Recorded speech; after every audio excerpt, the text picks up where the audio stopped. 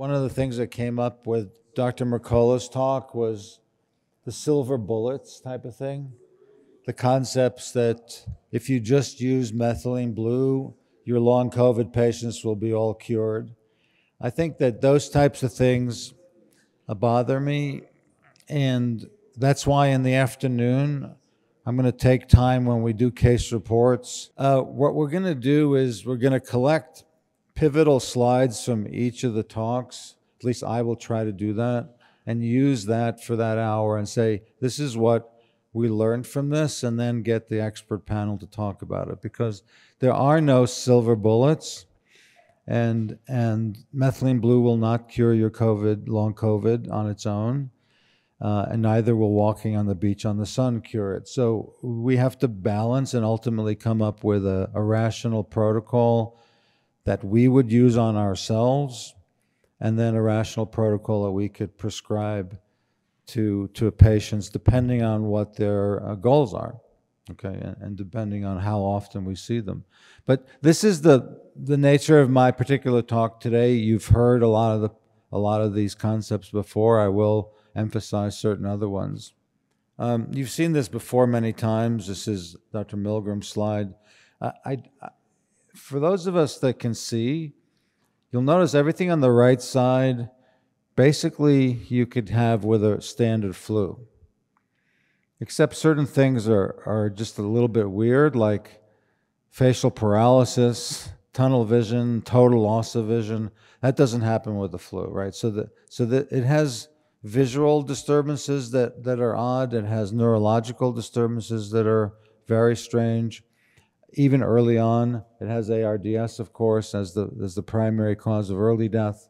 It has hormonal effects, sexual dysfunction effects, uh, effects on fertility, and other parameters that a lot of cardiac symptoms so it, it is clearly its own animal, and we haven't seen this type of a uh, of a situation before with a with a clear virus.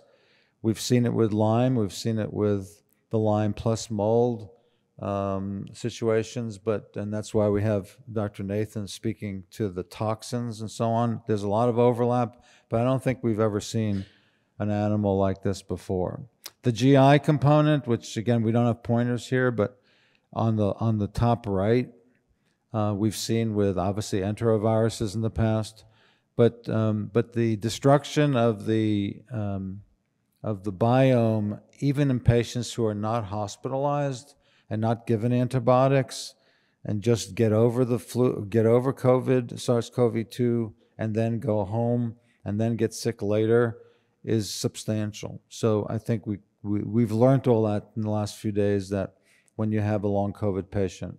You have to take care of the GI system too. So, as the uh, probably the only pathologist here, I'll say a few words on what happens when you see someone uh, at an autopsy um, that dies of acute COVID, whether it's 12 days later or 30 days later or 50 days later from primarily from car- from pulmonary failure as the primary insult then leading to total system collapse, which is renal failure and cardiac failure.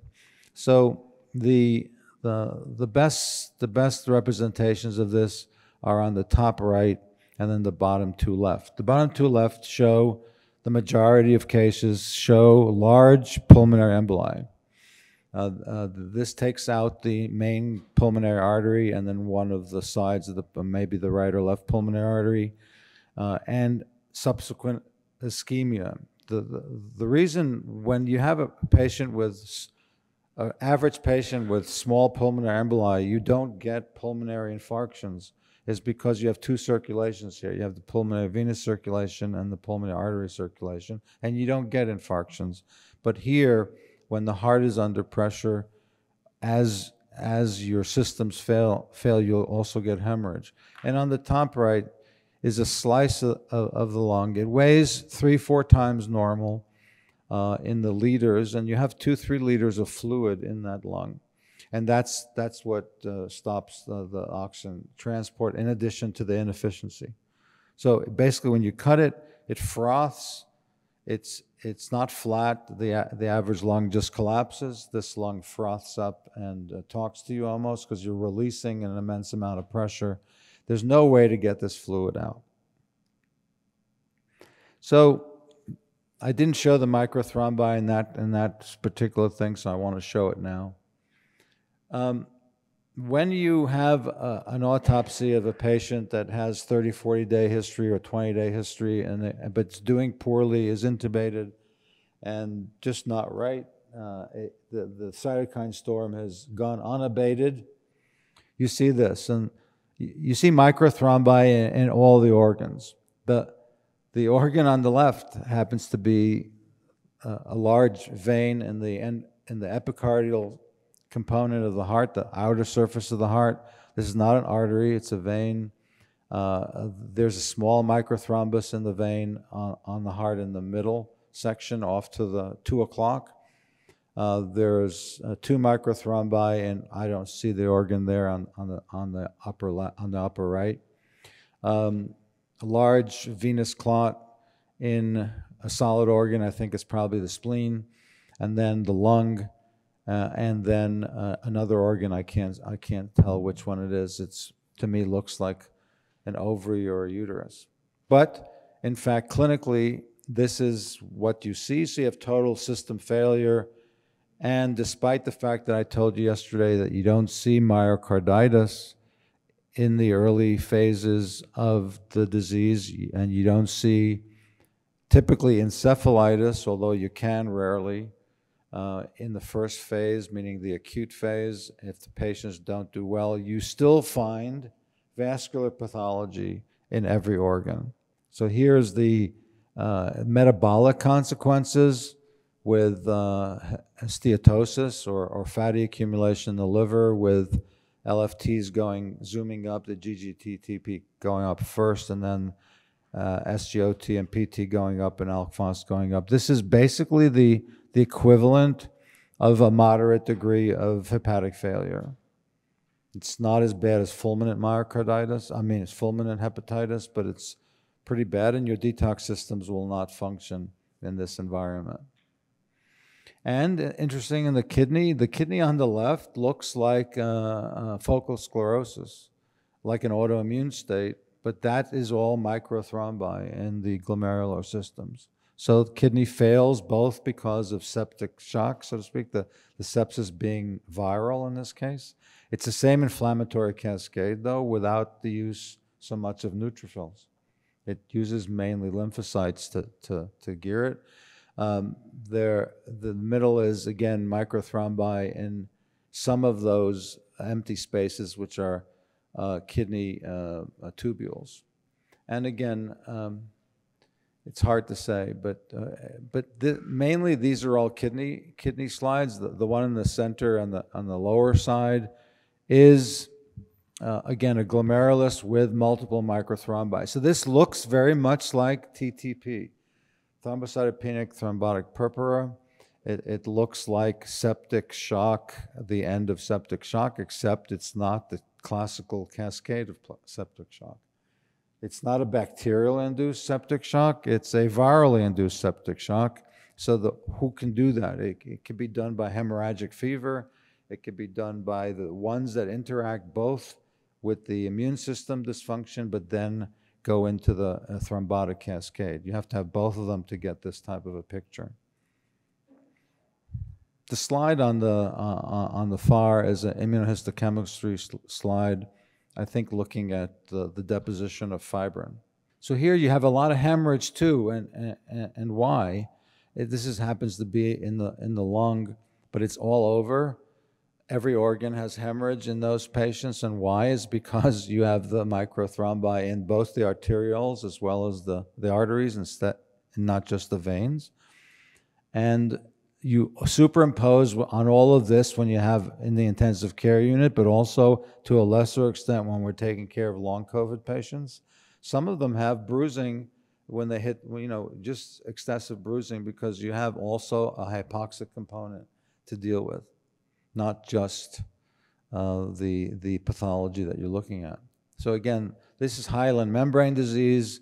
It's a classical, a classical picture of, uh, of microthrombi and hemorrhage and um, growth of the interstitium between the two alveolar spaces with hyaline membranes and loss of the epithelium. So this is classical, and this responds early on to steroids. It responds early on to ozone. It responds early on to vitamin C, which is a directly um, antiviral, so to speak, doses of vitamin C, um, and may respond well to methylene blue intravenously, but you can't get that in the hospital, right? You can't get any of those things in the hospital, uh, except for the rare cases in Italy and in, and in China that, that published the data on this. But you see this. Uh, so it's the hemorrhage, hemorrhage, hemorrhage, and it's the slow destruction of the normal parenchyma. So this is what you look at when you have the autopsy, but it's the exact same thing if someone survives. Because the reason you survive with this is because your kidneys don't shut down and, and your hepatic function is relatively normal, so you tend to be younger or healthier to start with. You still end up with this. You send, th- this is what you end up with um, and and and we have some cases that we showed in the first day in the EBOO session. I'll show it again sometime in the afternoon. And this is still all reversible because macrophages will take out the hemorrhage. And you see, you notice the, the, the, the, the emphysema on the, on the left side. This person brought that emphysema to the table. This didn't happen because of the disease. So you can have restore normal architecture if you grab this type of patient earlier on. So they don't have to have permanent pulmonary fibrosis uh, if we act, if we help them act a little bit more um, diligently and quickly. So this is uh, the slide from the first day that we had in the EBOO. It's you have to look at it as a complex chronic illness. In this case, it's a, a little bit more than a bacterial sepsis because it it it it, um, it has it affects everything, not just the local tissue. Right from the very very beginning, it first affects the lung more, so that's the one we focus on more. But you have to look at it from this perspective. On the long side, certainly. So what happened? So we had the government say, wait till you can't breathe anymore, and then call us up, and then we'll invite you to the to the emergency room or you, form your own society of, of intensive care people, typically pulmonologists, but also anesthesiologists and a few cardiologists, uh, thankfully, who, who work with intensive care unit patients and hospitalists, and you say this doesn't make any sense. So you have to form your own nonprofit organization, which actually takes nine months to do. I mean, in order to get your 501c3 status in the United States, it takes a minimum of nine to 12 months. So they started this before they had the nonprofit status. They couldn't accept any donations. Now we can donate to them. You know, the public can donate, but initially, I mean, they don't take salaries anyway, but, but they have to have a staff now handling a meeting that they just had uh, two weeks ago that had 2,000 people attending. So that's when they heard for the first time about melatonin they heard for the first time EBOO. They heard the first time ozone. They never heard of these things before. They had heard already about LDN. So they're becoming more integrative, and now we're going to have a new class of integrative intensive care unit people in the United States that know about vitamin C. It's a whole different story about ozone. That's going to be difficult, but but but certainly possible. So now they have this. I prevent, I care, the hospital treatment protocol has been in place since since the summer of 2020. I recover long treatment long that's where they want our input the most, the recovery input, because they have limited capability of thinking about something that has this this many symptoms. But that's the response that we have. Instead of the public health society doing this, we have we as a team, in this case they, it's not us, had to organize in order to, from two people, three people, 10 people, now 2,000 people show up. So, what did they do that was different? What do we do that's different than the colleagues that we have and uh, in, in the usual colleagues that we have? We exercised thinking. We read the data. We did read the data, and the data became clear as early as the spring of 2020. And we analyzed it and we draw rational conclusions from it. And we now know for certain, we, we got signals from the earliest part of the pandemic that vaccinations were never tested to stop transmission. This was the biggest lie that affected every one of us and our families. And um, the, it was never targeted towards the, the risks, the risk groups. Even if it was effective, it was never targeted properly. I remember in San Francisco, the city shutting down, all, all, the, all, all the tech workers were thrilled to stay home. they were thrilled because they could work like that. And we had to suppress the feeling that all the workers that had to go to work were poor and had no say in the matter. So they, they, the meat packers went on. There was a special presidential level thing. You have to continue feeding us meat. And no matter what, it doesn't matter what, it, well, what the deal is going to be, you're going to put yourself at risk. And in, in our society, that's the, the, the poorest of the poor who have no nothing to you know they have they have no choice. So that was the thing. So there's a, an interesting paper by a, gal named Iwasaki. She's a, a, a PhD um, that started unteasing the. This is a while ago already, unteasing the transition between the acute stuff that you can read about, which frankly no longer exists, and then now uh, transitioning into what we're seeing now. So there's a persistent viral load. Uh, our the mechanisms uh, we don't know about, but we, we do know that that whether it's shedding or not, uh, this is identical both for the virus and for the vaccine. Viral load drives the early inflammatory lesion. The higher you go, so the later you are, which is was forced by the by the community, you were thrown out of the emergency room unless you had a, a PO2 under a certain level. It didn't matter how sick you were. You were asked to go back home. You would not get admitted. So you had to go back home. So everyone was forced to be treated late when viral load dr- drove the early part. And now it's the persistence of that virus or vaccine that is now dictating a subset of people with severe disease, and then a much larger majority of people with subtle disease. Sometimes as subtle as subtle as a cough, when you can hear it, most often it isn't. It could be it could be the resurgence of PCOS. It could be a resurgence of autoimmunity. It, it could be myocarditis. Uh, it could be brain, more likely than not, it would be brain fog. So you have a set of uh, different forms of interferon that are pro-inflammatory, certain ones that are anti-inflammatory. I don't want you to be confused by this. You'll see one one lecture versus another. Nobody understands what's purely pro-inflammatory, what's purely anti-inflammatory, because they they converge. It's like the same wheel is is necessary for life, is also necessary for repair is also necessary for pro-inflammatory states. It's just it, it, we don't know enough to to say. And then there, I'll, I'll talk about the four signature plasma proteins again, but diabetics tend to do worse. Men tend to do worse because of the you know our lack of estrogen, uh, and postmenopausal women do probably the best who are on bioidentical hormones. Uh, but there are certain types of things, um, certain types of patterns that are beginning to emerge. But these patterns are not commercially available. You can do this, the cytokine panel on uh, Cyrex. Uh, I'm going to start using the lymphocyte map, uh, but it, it, it, doesn't have cytokine panels with them. So then you have to combine the two. And the best cytokine panel, I, I think, is from LabCorp.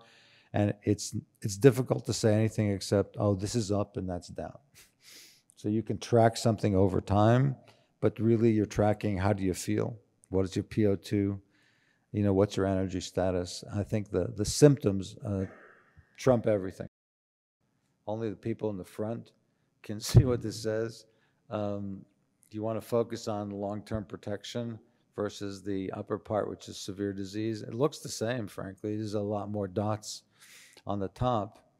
There are more cells involved on the top. So you have on the on the top you have mast cells, you have these NET, these neutrophil cells that are, uh, are now activated.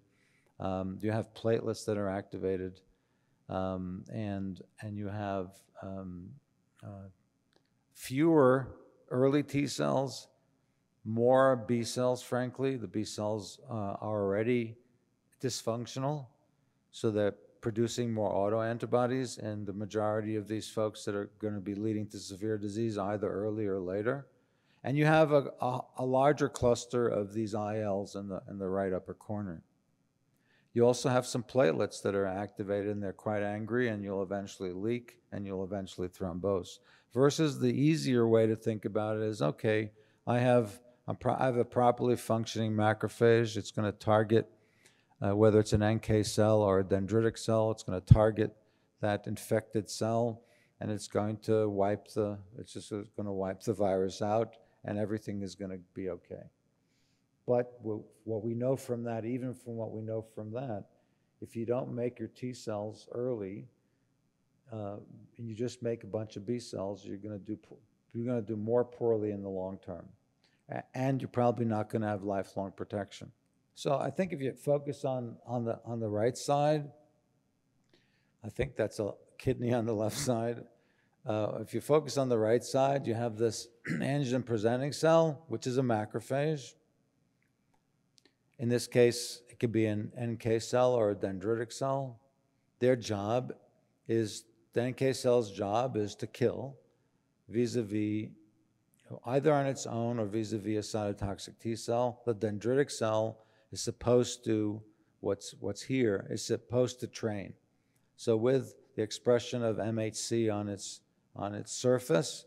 it's going to train the rest of the system. Earlier system will be cytotoxic T cell. The later system will be uh, um, a larger array of T cells, and that will also talk to, to B cells. It will um, train and, and then reproduce in the spleen. And then you'll end up with memory cells on both sides B cells, memory cells on T cells. And some of those in the average person, and particularly in the youngsters, those memory cells will be productive and will be able to attack the same antigen or something quite similar very rapidly, more rapidly than B cells, more rapidly than neutralizing antibodies. That's basically the message. If you want anything more, you're going to have to read another three, 400 articles over the next few years. I, I don't know what else to say. So this is the simplest thing. This is a thing we've seen for the last 30, 40 years. It hasn't changed. It's just any virus. This is no different. And there are a lot more, there are a lot more uh, abbreviations, but, but basically you're going to lead to a, a, virus cell that's apoptotic. Now with, with the, the problem with the vaccine is that you're talking about a piece of language. You're talking about an, an RNA. So how are you going to, so once you kill the cell that has that in there, it spreads it even further. And it has the capability of enclosing that, that RNA into a lipid membrane and then send it off wherever it decides to send it off in a communications network. So exosomes that, how many people have use exosomes? Okay, maybe half, okay. Well, it's a communications network. It's an ability to, to talk. It's a homing. It, it has intelligence. knows where to go. So in this setting, I think it goes everywhere, um, and perhaps goes everywhere that is the weakest point first. Perhaps because it has a homing mechanism of its own. So it's uh, once it's there, it's going to be hard to get off. I have nothing to say on the shedding thing. Um, just my own anecdotes, as, which are irrelevant here to me, the key here to show me that this is different is the thrombosis.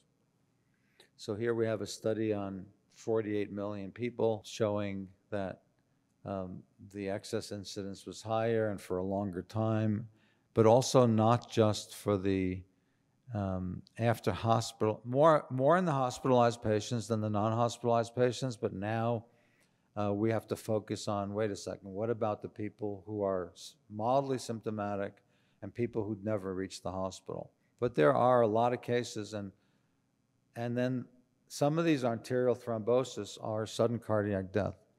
I have several patients in my practice who lost their loved ones suddenly from someone who's seemingly just fine. So these are anecdotes at this point, but now you'll see that the anecdotes are flying from all over the world. And this helps explain some of the excess deaths that are, happening now in the younger population. This is not the 85 year olds. The 85 year olds are dying in the hospital from a secondary infection that they can't handle the complications of. You know, from, from getting Omicron, but they can't handle the complications. So here's this again. There's I, I like I like cartoons, obviously. So uh, you're going to see a, a number of them. They all have different um, points. Um, you're not going to memorize them. I, I can't memorize them anymore. I guess I'm too old. But in this one, the Ang 1 7, the angiotensin 1 and 7 is protective. The angiotensin 2 is not protective. It's just like all the other things that we know. Uh, the ACE2 receptor is protective, but once it's depleted, when you have metabolic syndrome, which is 94% of the population, it can it turns uh, uh, it turns into angiotensin 2 and with the virus so angiotensin 2 is the bad guy. Well so is uh, i mean angiotensin 2 is the bad guy ace rece- ace2 receptor being lower is the bad guy. Well this is sort of the same on the thrombotic side.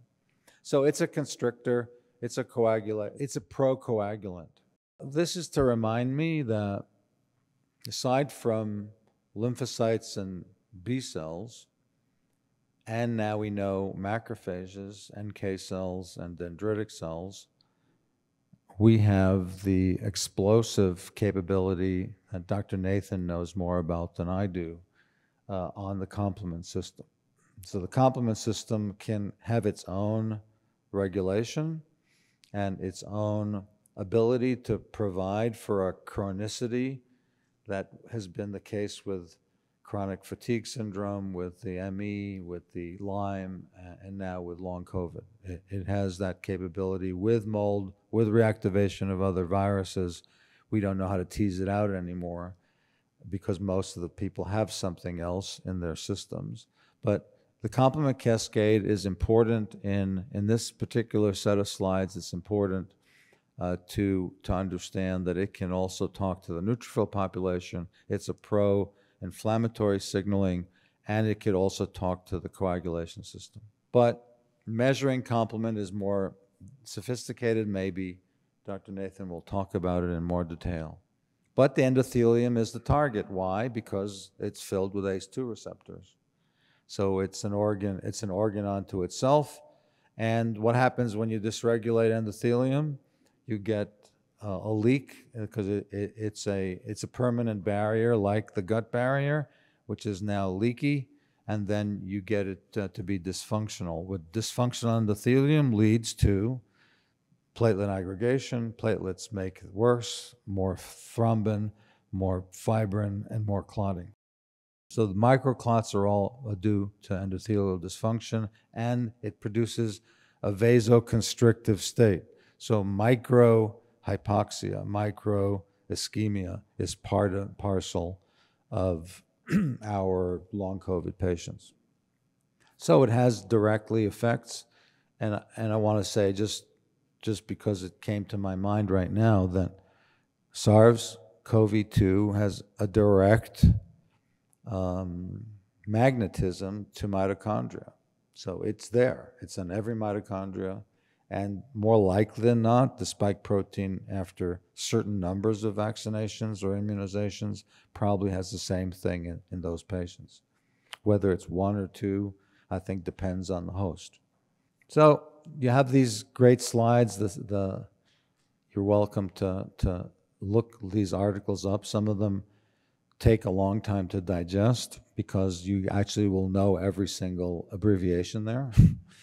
um, but the basic thing is, is that on the bottom left of the left side, you'll see that fibrinous clot with tissue factor, with thrombin factors, with complement cascade, with the platelets uh, that can be barely seen. They're barely seen in the top slide with a bunch of dots next to the center set of cytokines, which again, platelets are part and parcel of the activation network that basically say this endothelium is so disrupted that I'm going to plug this hole myself. I'm going to produce this fibrinous clot. I'm going to be a, a major constituent of this clot that's going to either disrupt the flow completely or at least seal the wound that's happened here. Now, part of this is happening in the brain of everybody that has brain fog, whether it's directly due to virus or it's secondarily to the gut inflammation that then produces the brain inflammation. This is probably what's going on in the folks with stroke. Now, stroke may have a large cell component, but does it have to? It doesn't have to. It can all be microvascular. I think we, we will see a subset of patients with stroke in the future that will respond faster than before. You know, there's a normal variation in how you present first with aphasia and then you slowly get better over time with without any much intervention. But there may be a group of these microthrombotic people who get better faster because of a collateral flow is still intact. Okay, here's some more of the of the abbreviations, but the important thing is is that it's listed to micro and macrovascular thrombosis in the lung. There are no that I'm aware of no published autopsies of people with long COVID now. Now, it's always been like 3% in the United States. You know, 3% of people get autopsies. But in this setting, I haven't seen a single published study on long COVID. Maybe if you do, please send it to me because it may be um, that the families are just not doing it or the uh, academics don't want it. So, I mean, one of the two has to happen. So, we're, we're already down from when I first started, um, when I did pathology in the late 70s, we had around 20%. Now it's closer to 3%. And usually, a lot of those are, um, are for legal reasons. So the other one is actually leaking. People who just walking around with long COVID, they say, I didn't hit myself at all. I mean, I, I'm just so careful now. I don't bruise because I bruise. They have bruises all over their arms. They just all over in places that don't usually bump into things. So that's the leak that's happening with the formal break uh, in the in the microcirculation. You also have inflammation going on at the same time, which is why this is persistent. And thus, unless you solve this inflammasome being uh, chaotic, you're not going. You you're just going to watch it. You're not going to do it. So because the D dimer doesn't tell you the extent of this. It's not car. I mean, yeah. I mean, I'd rather have a smaller D dimer than a larger D dimer, but it doesn't necessarily correlate. And by bringing down the D dimer, are you uh, is it a linear relationship between endothelial injury? Probably not, because when we have a normal patient with an elevated D dimer and we give them nattokinase or Boluoke or low molecular weight heparins, uh, it comes right down for straight relationships between the D dimer and venous thromboembolism, for example. It comes right down. Here it doesn't come right down. So there's it may not be a one-to-one thing. So it may take longer for this to heal than the, the, the value of the laboratory itself. And why? It's because this is um, this has a complicated cascade. This has other disorders going on. We see from Dr. Vojdani activated reactivation of HHV6 and EBV and probably CMV and others. And, and I think if we went to the Fry lab and did Fry lab stuff on every patient, we'd find some unusual organisms in some of these long COVID patients that none of us would even be able to say. I mean, organisms we've never heard of before. Uh, but this also involves the complement cascade that then in, in, of in, intersects with the, the, the other toxins in the body. So this leads to the following types of things. You can measure fibrinogen, and if you have it, it's elevated. It's usually elevated early. You're probably sicker. Uh, elevated factor eight, uh, you know, PT, PTT, uh, elevated. All these things may may show you what you already know. This person is not doing well, and it may be something that you can follow over time if it's abnormal in the first place. This is an interesting article to pull the, the references in the back uh, and the, the, bottom. It's a Nature article. Uh, I think it's um, just recent. So never mind this. It, it's going to be repeatedly. It's going to be repeated. But uh, the the notice on the bottom on the bottom left is that there comes a time when this starts to leak. The first leak that everyone knows about is the ARDS leak because that that makes the hyaline there, that makes the fact that the lung is weighing four times what it should weigh with liquid and fluid. But this is happening throughout the body, and to me, the most important one happens to be the brain because in the heart, this is not the cause, this is not what you see when you have uh, a patient with um, sudden cardiac death or a patient with myocarditis. You don't see the leak. You see the leak in the heart when you have fulminant myocarditis, which has never been described with this, with this particular virus. Yeah, so this is what the leak look. I mean, this is the representation of what the leak looks like, uh, but this is an this is all a, a chaotic inflammasome reaction. So the one on the bottom is what we have been dealing with since the day one on Thursday on, on ozone. What's the role of ozone in this? That Dr. Shallenberger gave his brilliant lecture or opening the, the sessions up, but he gave an equally great lecture opening the EBOO sessions up. Um, EBOO just being a sophisticated way of giving more and more ozone very, very, very safely. This, this is what we're dealing with. It's, it's a persistence, that's going to be proven over and over again. An abnormal immune response. The homeopaths used to call this, this is a chaotic response. They called it a syphilitic response, like syphilis, because syphilis is chaotic enough to continue, continue, continue until you die without stopping. This isn't a psychotic response. I don't mean PSY, psychotic sycotic being SYC, something that you can contain. This isn't a containable response. Reactivation of the infections, the toxins, uh, leading to mitochondrial dysfunction. I think we've heard that uh, from Dr. Pamela Smith's thing, uh, a lecture. It, it has to have a global impact on cellular function rather than doing directly viral damage, although what we don't know is what the mechanism is using the spike protein as the vaccine injury. We just, we don't know. Now we know some of the early factors that have been published in very serious journals, immunology journals.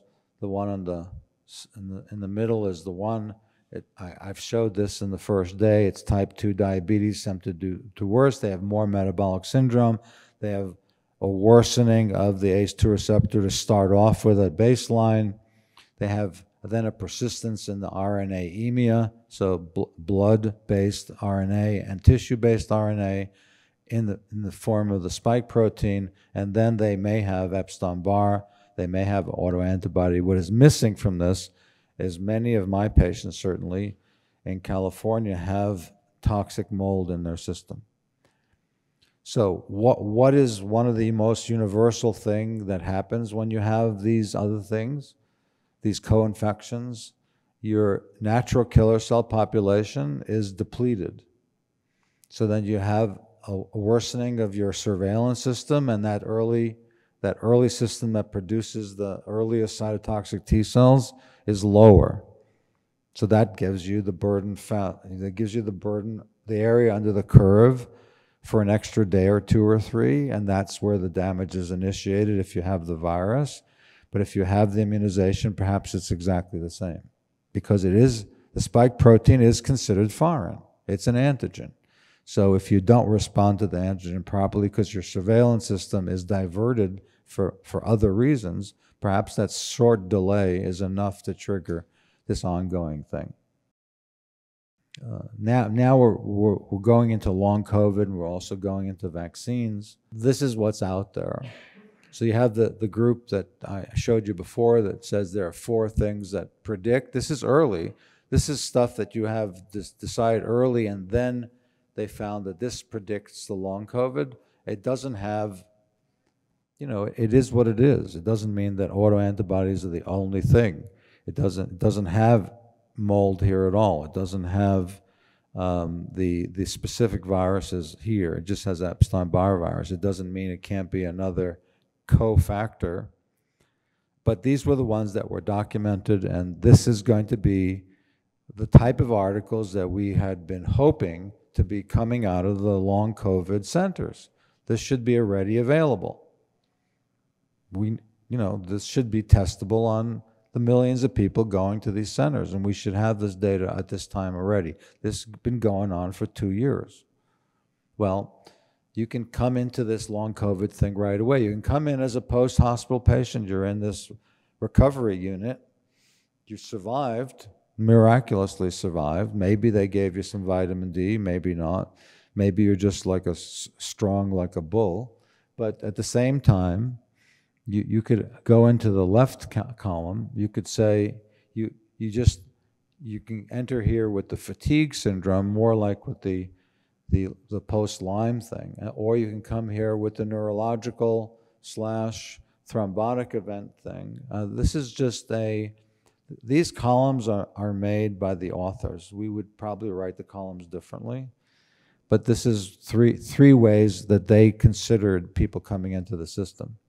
And there are other there are other articles showing the, all all the different systems, but these are not unique to um, long COVID. They're they're mimicking what you see with a chronic fatigue syndrome, a bad case, and, and Lyme. But but but the level of neuropathy, the level of, of visual disturbance, the, the level of GI dysfunction, uh, the level of all the different neurological manifestations, in my opinion, go deeper than the other illnesses. So you have these things that uh, you've already discussed the dysbiosis and reactivation, the autoimmunity, the viral reservoir, all these things are part and parcel of long COVID. And if you don't know this uh, and you don't act on it, uh, you won't get there. So then you say, well, what's happening when, in the autoimmune state? We heard Dr. Vojdani say something that was pretty interesting. I think he said, um, you can find the virus or the virus cross reacts the, the antigens in that virus or in the or in the the vaccine cross react with antigens that are normally found on normal tissue in every tissue of the body. Now, that is probably unique to this virus. I don't think we've, we may have seen it before, but we haven't been able to study it before. So that's pretty interesting. So you can have molecular mimicry as a mechanism of autoantibody production. Whether that produces a disease or not, I don't, it depends but um, but that the possibility is so the more of the stuff you have, it's not just ANA and double-stranded uh, uh, DNA. It's not just that, but I want you to focus on the brain fog people that you can't immediately reverse.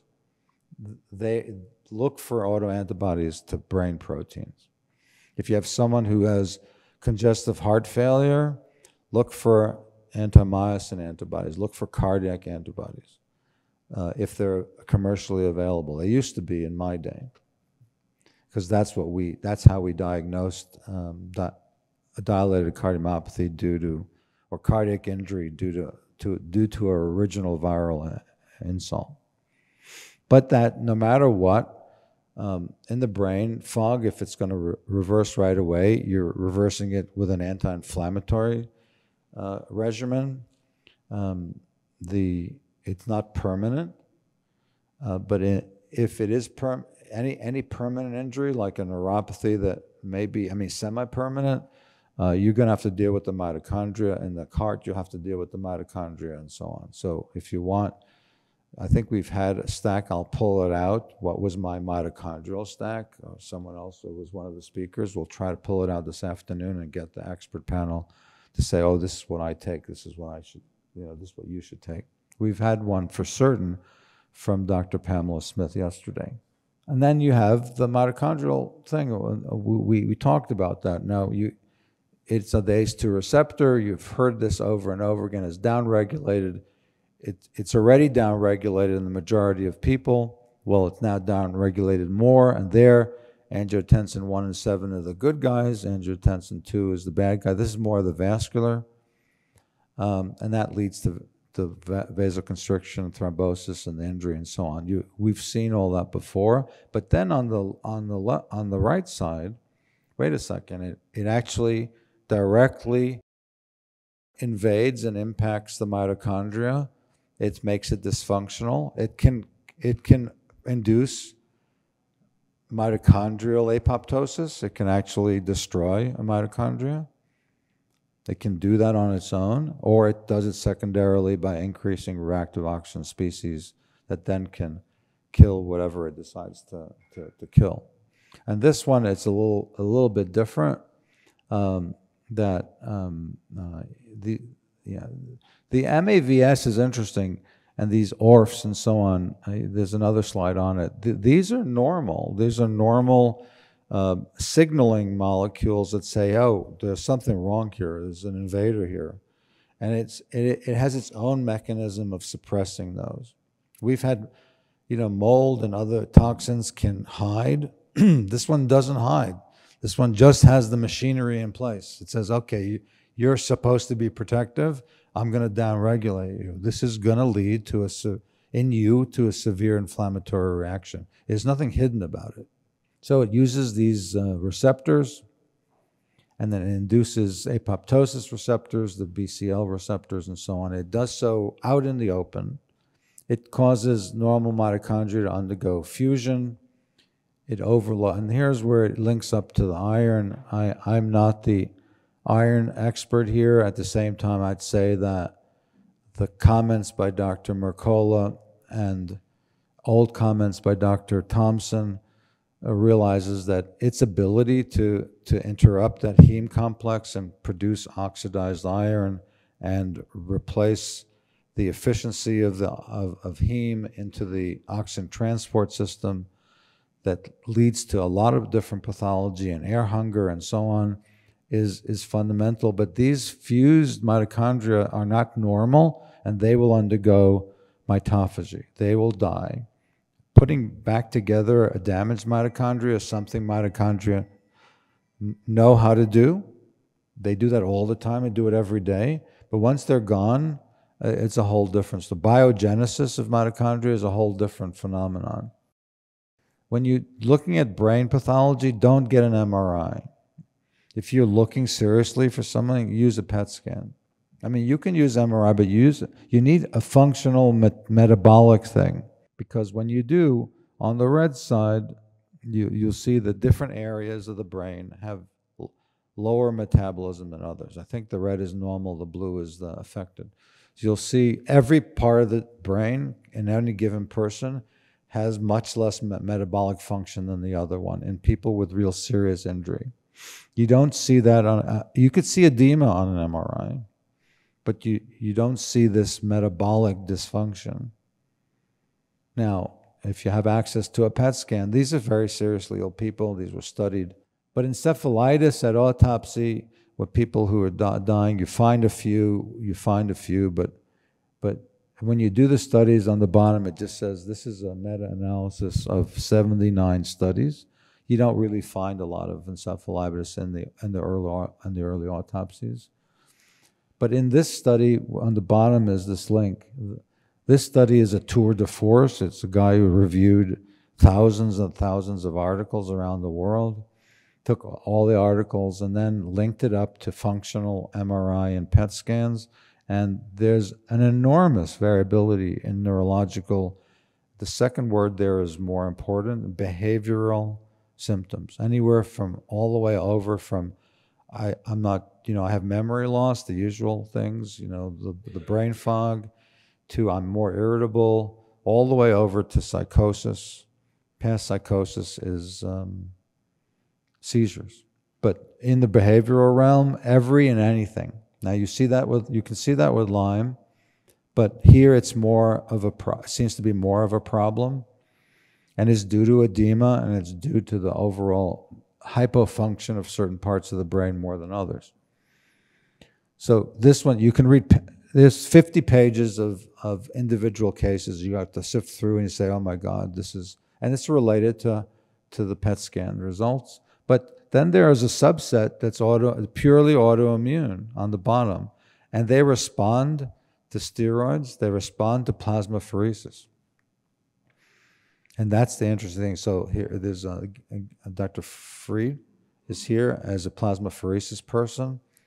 She has these patients, you know, and she wants to be able to treat them more efficiently.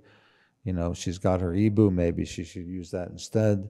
But we have in the literature plasmapheresis, a, therapeutic apheresis is another word, resolving these folks, and also high dose steroids resolving those folks. And their autoimmunity which is documented in testing, goes away. One of the autoimmune um, tests is by Cyrex, one of them. So you have a lot of brain problems, and this is enough to stop you from working, even at home. But again, the average the average case at autopsy when you come in for you, the reason you had your autopsy is you had ARDS, very very low incidence of encephalitis. Then you have the long term thing, okay? Okay. You see the ground glass appearance in the upper left uh, towards the lateral lateral wall. You see that ground glass appearance. It's not found in the in the in the, in the next in the next slice. Little little uh, areas of that same appearance in the lower left. That's early. This is later. It's more. It's it's is diffuse. It's not lobar multilobar, and then on the on the on the right side, it's it's already producing some level of scar formation. You know, it's it's very dense. It could be heme. It could also be in the reticular pattern. It's more um, uh, likely early, going to lead to fibrosis, and then later it's formally fibrosis. So there, it's on the right side is more perivascular or peribronchial. There are there are, looks like there are holes. That's maybe areas of bronchiectasis where there's loss of normal architecture completely. And on the bottom left, right towards the apex, those tissues are gone already. That's over. It's not going to come back. Maybe make it more efficient by ozone or some kind of other measure, but that's not coming back. This is a case report we did in the New England Journal of Medicine using therapeutic apheresis.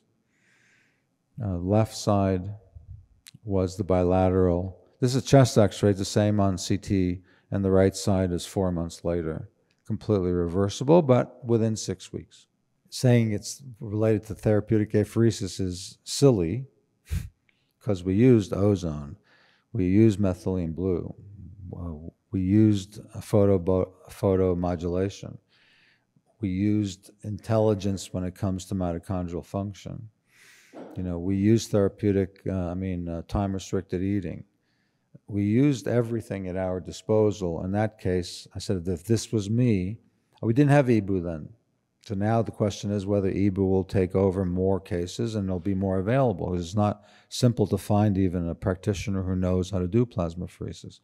But but that was available, so we used it, and it was successful enough to publish it in the New England Journal of Medicine. And this is, and when you have then linkages to research groups, because all the research groups want to publish in the New England Journal of Medicine, you entice them that way, and they can measure a hundred different things, and so you can find things. It's like if I'm going to look for things, I'm going to find them. In this case, it's cytokine profiles, and right now we now that the thing is published, we can't get them to repeat the same studies now. So we don't. now we know he's better. That's all. So here is the myocarditis, but it's a model for post-viral autoimmunity, um, and ultimately it it produces a reaction to every cell, every myocyte in the heart. If you have autoimmune, auto, post-viral autoimmunity in the heart, and you develop 10 to 15 percent of them develop dilated cardiomyopathy. Sometimes years later, you have something that basically is covering the entire the entire heart. So you have a global impact of dysregulation. It starts, but it also has an impact on mitochondrial function. So we haven't seen the full extent of the 15% patients yet. Here is what it looks like. The black is in situ hybridization for the SARS-CoV-2.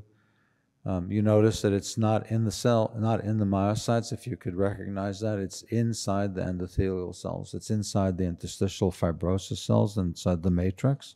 It's not in the heart itself. At this time, this is only one case. It, it may, in fact, be found in a few rare cases. That's how. This is what I could take this from an, an HIV uh, study that we did 25 years ago and looks identical, but from a patient with dilated cardiomyopathy. So there's other things. What's there? It's ICAM1. It's P-selectin. It's um, an- antimyosin antibodies covering the, the, the surface of the cell, mucking up the ionic transports, and making the mitochondria less efficient. But early on, you don't see. Late pathology, you, it's hard to find these cases because they're selected for ARDS. They're not selected now for long COVID. So we have to get we have to wait for those. And this is an article I published 30 years ago with abnormal expression of mitochondrial antigens on the cell surface of the heart. So how did the antigens get there? A few cells leaked, autoimmune reaction to those inter, those cytoplasmic proteins, then it's got a global impact. So here you go. We've seen this before. We'll see it this afternoon, so I'm not going to do that. So there's a lot, lot, lot going on on the heart side. This is a serious cardiotrophic virus. It's the most serious one we've ever seen. Well, we're going to have a lot of things and a lot of vascular events. How is it moving around the body with such ease? It may be moving about um, with these vis-a-vis these exosomes. We don't know. But these exosomes can be found on day 14 following vaccination. And then you could follow that all the way out to this is uh, coming from a brain uh, article, and you can follow it out. Uh, but we, the United States Senate, uh, feels that this was re- released from the Wuhan lab and therefore was genetically modified. It was just leaked from there. Uh, nothing sinister about that. It didn't come from the from the from the local uh, fish market. So at the same time, it has the capability that we now know. So both early and now late. We have these protein, these mitochondrial specific receptors. And the worst, the worst cases are, this is the main slide. It's an immune saboteur in the population that is affected the most, but therefore it's the patients that can, if they, if you, if you can handle those complications, they could become healthier than they've ever been before because they're no longer at risk because you've taken care of all the boxes that got them there in the first place, including ourselves. You know, I had a persistent cough for maybe four weeks. You had it for longer. Uh, I said, This doesn't make sense. Uh, I know I don't have viremia anymore. And did the real time mycotoxin test. High. So get rid of, use my ultra binder, use my binders, uh, you know, and that's now I'm healthier in that aspect than I've been before.